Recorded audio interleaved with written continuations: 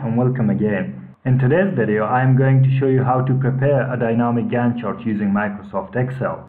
This is a small high-level schedule for a project.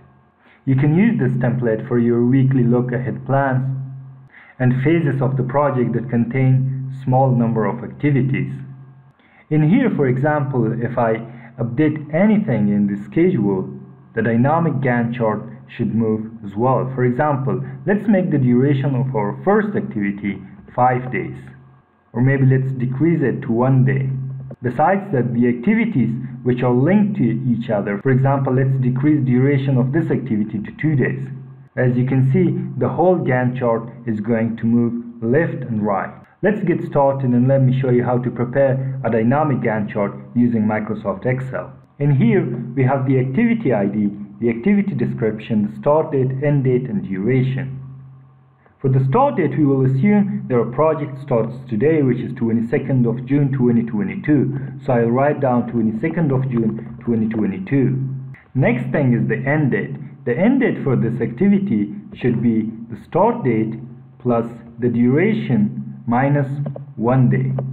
In here, if you add any duration, for example, two days for this activity, as you can see, the activity will start in the morning of 22nd June and will finish at the evening of 23rd June, which will be two working days. That's why I deducted the number one in this formula here. I will assume that our activities are finished to start, which means that once this activity is completed, the next activity or the successor activity will begin. In order to achieve that purpose, I will write in the start of this activity this date plus 1. So once this activity is completed, the next day this activity will begin. And the same formula will be applied for the end date. So what I will do is drag this down up to the last activity and besides that drag this down up to the last activity. Now once I add the durations to them, for example, let's make 3 days for this one, 1 day for this one, 2 for this, 5 for this, and 3 for this, 1 for this. The start dates and end dates will be adjusted automatically. Next thing is to add the dates on the Gantt chart area here. For this one, I'll write down the first date in here, 22nd of June 2022. So I'll write down the date here and I will drag this date up to the last cell in here and next thing is to rotate these dates. I'll right click on the selection and go to format cells in the alignment here I'll rotate it to 90 degrees. I'll click OK. This is the last and the most tricky stage that we are going to go through, which is preparing the dynamic Gantt chart. To do that, in the first cell here, I'll write down equal sign IF and the value in this cell we will lock the row number in here. Because when we drag this value down the row should not move.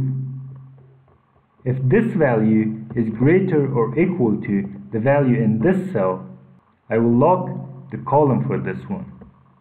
Because when we drag it to the right so the column should not move comma, we will write down our next condition. The value in the same cell, again, we will lock the row. Is smaller or equal to the value in this cell, again, we will lock the column. I'll close the parenthesis. If this condition is true, then write down x. If it's false, then leave that cell blank. I'll close the parenthesis so the letter X will appear in here. I'll select this cell again, drag this to the down here, so the condition is applied on all the cells. Next is to take it to the end of our Gantt chart. The last thing in here is we will use the same selection to do conditional formatting. We will go to highlight cells rules and go to equal to.